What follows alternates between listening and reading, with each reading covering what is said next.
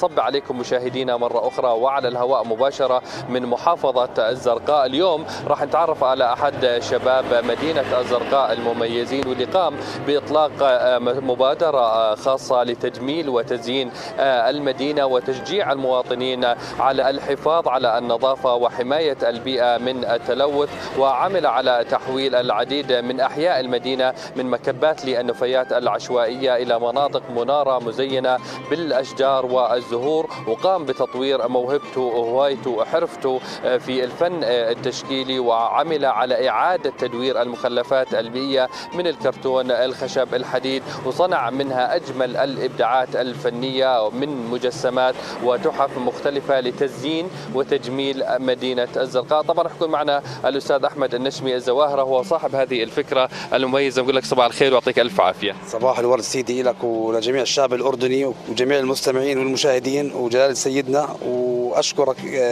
أخوي أبو حماد وشكرا ل يوم جديد وقناة الأردن على متابعتكم لهيك أمر يعني.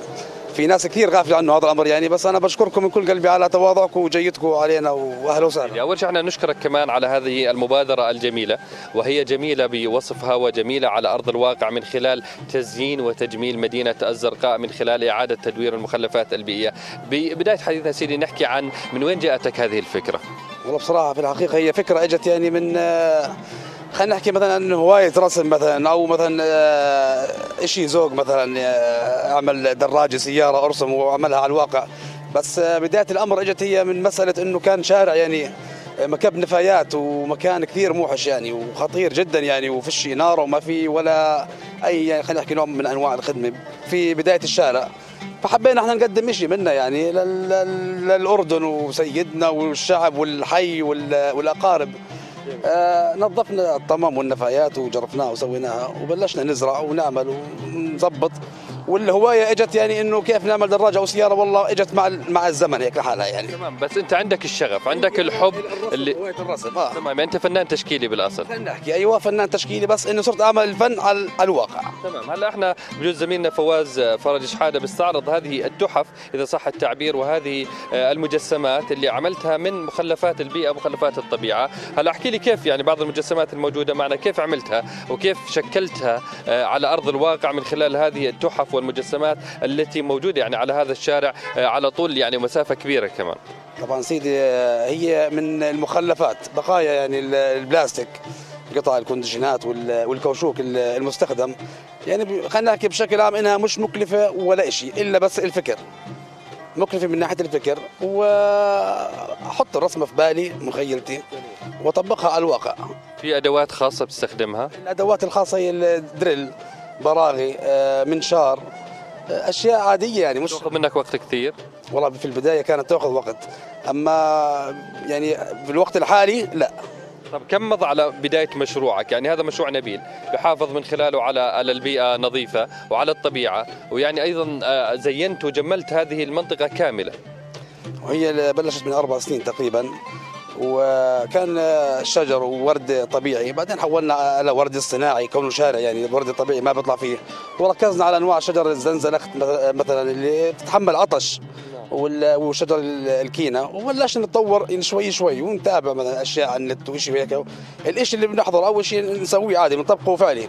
أما مسألة السيارات والدراجات هي مسألة يعني خلينا نحكي منفردة يعني. هواية خاصة عندك. على النت مش موجودة. تمام. بجوز أنا يعني أتمنى على زميلنا فواز كمان يستعرض بعض المركبات اللي موجودة. يعني بتأخذ منك وقت كثير بصناعتها؟ هسه في في السيارات مثلا الكبيرة بتأخذ مني وقت. آه بس كان وقت جهد آه وقت وجهد بس صار الأمر إلي شيء سريع. يعني صرت مثلا اعمل الدراجة أنا أنا بثلاث دقائق ما شاء الله عليك. الله يعطيك العافية. طيب سيدي كيف كانت ردود أفعال المواطنين المارين أصحاب المركبات بعد ما شافوا هذا الإبداع وهذا العمل الفني وهذه المجسمات الرائعة من مخلفات البيئة؟ أنا الشيء اللي خلاني أطور شغلي وإني مثلا إني أهتم بهيك موضوع هو اهتمام الناس. أنا لما شفت الناس مبسوطة على هذا الحكي والأهالي وفرحت والفرحة على وجوههم وجوه الأطفال صرت أنا أطور ولو بيطلع بإيدي كمان أعمل أكثر من هيك. هلا أبو أسد إحنا نحكي يعني في رسالة نبيلة آه، من خلال هذه المبادرة وهذا المشروع اللي هي الحفاظ على البيئة آه، نظيفة والحفاظ على آه، نظافة المدينة. كيف وصلت هاي الرسالة للمواطنين من خلال هذه المبادرة؟ أنا وصلت من خلال هاي المبادرة إنه أنت تقدر يعني تعالج الخطأ من دون أنت ما ترن على أي جهة حكومية. لو كل إنسان مثلا يهتم زي ما أنا اهتميت بشارع منطقته الخاصة كمان. منطقته أو أو باب بيته الأردن بصير يعني من أجمل البلاد. يعني مش إنه كل شغلة والله خربت والله بدنا بدنا نرن على البلدية بدنا نرن على الزراعة تعالوا اعملوا لنا سووا لا إحنا نعمل وإحنا نجمل وإحنا نظبط والله يعطينا الصحة وإن شاء الله دائما نضلنا نظبط ونحلي وما بنسأل عادي. يعني لقيت حدا استفاد من هذه التجربة في آه. بعض المناطق في محافظة الزرقاء بلشوا بمثل هذه المشاريع؟ آه والله أنا في كثير يعني في في, في مثلا آه، مبادرة شباب حي الزوارة صاروا يروحوا على المناطق وهم يظبطوا. يعني أبناء العم والأهل والأقارب أنا بشكرهم يعني لأنه يعني وقفوا معي وساعدوني وبلشوا هم يعملوا وراحوا على الحدائق وراحوا على المساجد وصاروا هم يظبطوا يدهنوا من مبادرة شبابية يعني زي ما أنا أعمل اعطيهم أفكار مثلا يروحوا يطبقوا هم بالمناطق الثانية. كمان ضروري جدا إنه على المواطنين الحفاظ على النظافة. شو بنحكي لمواطننا الأردني؟ حتى ما يلقي النفايات عشوائية بأي مكان خصوصي في مكبات خاصة وفي مواقع خاصة وحاويات خاصة. ولكن آه، يعني رمي النفايات بكل الأماكن بشكل عشوائي يؤثر على البيئة وعلى الطبيعة وعلى النظافة ويؤثر علينا أشخاص حتى الحيوانات وعلى الأشجار وعلى على الهواء. وعلى التلوث. شو رسالتك للمواطنين للابتعاد عن هذه التصرفات السلبية؟ رسالتي أني بنصح انه انه إنه يحافظوا على أول شيء على الزراعة. إنه يزرع وانه إنه ما يكبوا النفايات وأنت لو شفت يا سيدي هذا الشارع كيف كان وكيف إحنا عملنا فيه الطمم وهذا يعني بتغير نظرتك عن عن موضوع النظافة على الكامل يعني. يعني عن جد إنه الواحد من دون نظافة ما بيسوى شيء. جميل. هلا سيدي رح تنقل تجربتك لأماكن أخرى رح تشتغل في أماكن أخرى. يعني آه، في محافظة الزرقاء رح نروح مثلا نشوفك في مدينة أخرى ممكن إنه تعمل بتشاركية مع بعض الجمعيات مع مؤسسات المجتمع المدني ممكن إطلاق مبادرة في بعض المحافظات. لأخذ هذه الفكرة منك والتطوير عليها والعمل آه، على آه، انتشارها في كافة محافظات المملكة. أنا لي كل الشرف إني أنا يعني أعلم هاي الفكرة اللي عندي لأي مواطن أردني لأي مواطن وأي محافظة وأي جمعية أنا على استعداد تام مني يعني أعلمهم كيف يسووا الدراجة أو السيارة.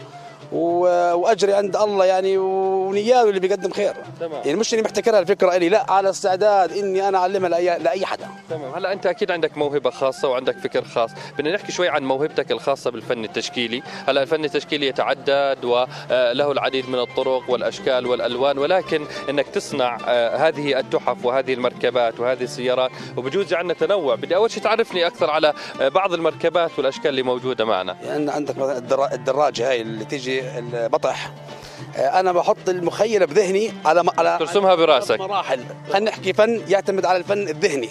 تمام. أنا بحط الشكل براسي آه وأنا من دون انه مثلا ما يكون ورقة أو أي شيء بمشي عليها على مراحل. يعني وبسرعة فائقة أنت تلاقيها بالشكل هيك مثلا إنه هاي دراجة بطح هاي دراجة هارلي هاي السيارة يعني أول شيء أنت بترسمها براسك بعدين على الورق بعدين بتنفذها. وعلى استعداد على الورق صارت شيء سهله خلينا نحكي بالمدرسة كنت أرسمها على الورق. أما حاليا ذهني أحط شكل السيارة أنا بذهني خلص.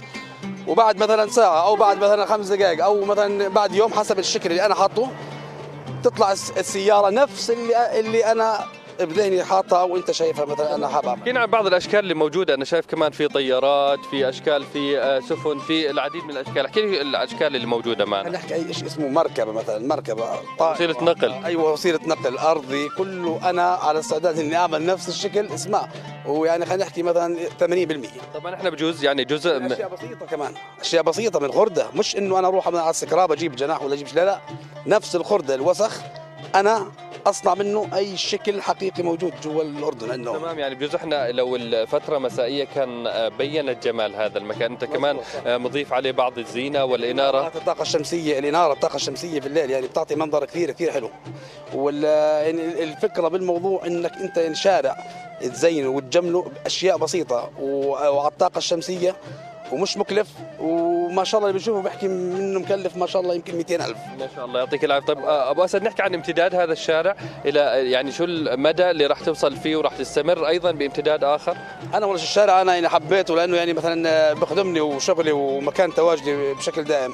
آه، فأنت يعني قريب من هذا المكان فبتشتغل على الدوام فيه. آه فأنا حبيت إنه أنا المكان اللي أكون فيه أنا إنه يكون مزين. ما تعودت إني أنا أكون المكان يكون يعني يكون في امتداد أكثر يعني راح تستمر في هذا المشروع راح تمده كمان؟ إن شاء الله يا رب إني أقدر امده آه بس هو امتداد الشارع يعني بالواقع نفس ما هو. طيب إحنا بجوز يعني ببعض الأجزاء اللي إحنا مش قادرين نستعرضها وقلت لي عنها يعني بجوز مقسم انت المناطق ولها مسميات. ما مسميات سفكس و يعني أسامي السيارات اللي فيه مثلا. قبة الصخرة.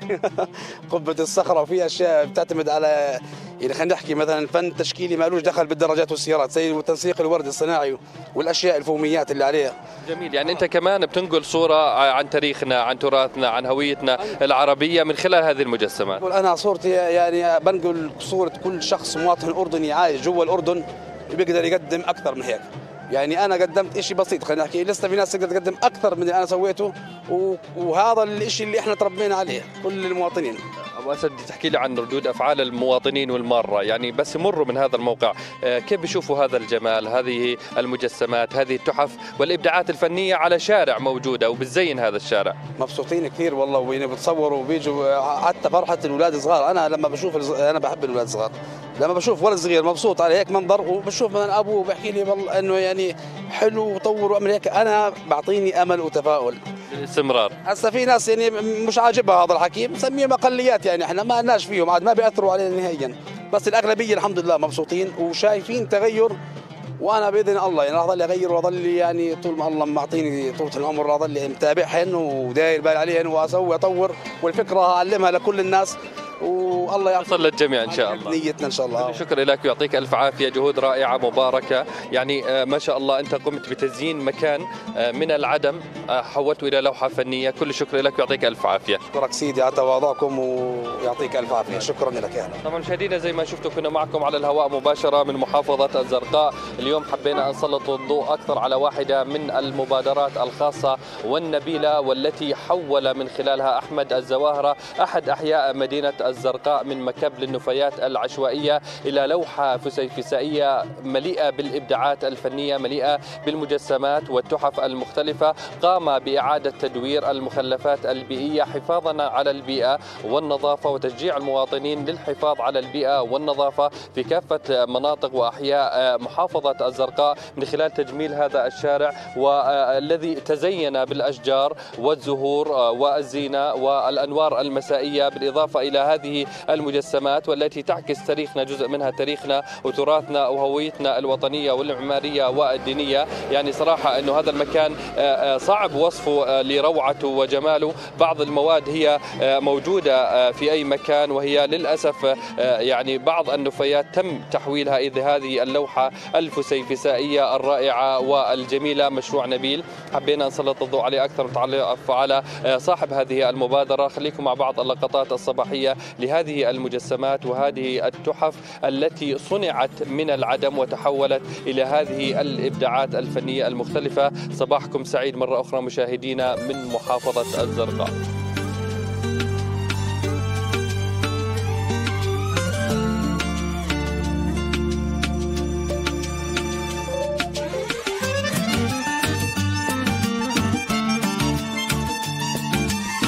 أغلى كلمة بتتكون من أحلى حروف. ولو لساتك مش فاهم انزل عشوارعنا وشوف كيف محبة فوق محبة وشوية إصرار ورغبة. تتحدى الظروف الصعبة وبتمحي عتمات الخوف.